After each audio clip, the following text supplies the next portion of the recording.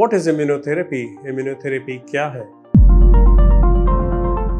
Hello, my name is Dr. Ankit Jain. I'm a senior consultant medical oncologist at Apollo Hospital in Delhi. Historically, we've been using various forms of treatment for cancer, for example, surgery or radiotherapy or chemotherapy, hormone therapy and targeted therapy. They act directly on cancer cells.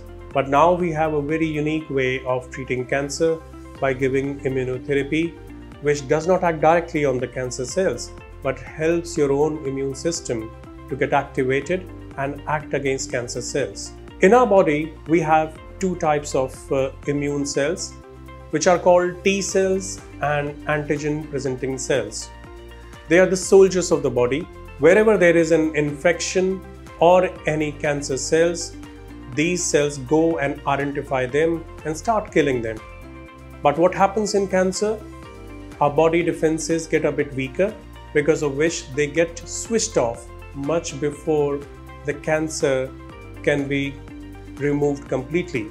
And this is where the role of immunotherapy comes into play because it trains your immune system. It does not let the immune system switch off its mechanism earlier and it also helps the immune system to remember the cancer cells.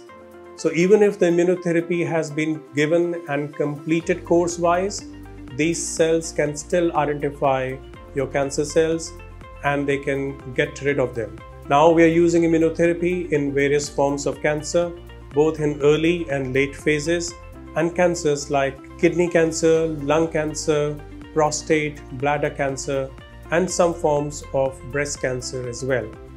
It is given through the drip and has been shown to be very beneficial to most of our patients. So I would recommend that if you have been diagnosed to have cancer, please see your oncologist and find out if you are eligible to have immunotherapy. Thank you.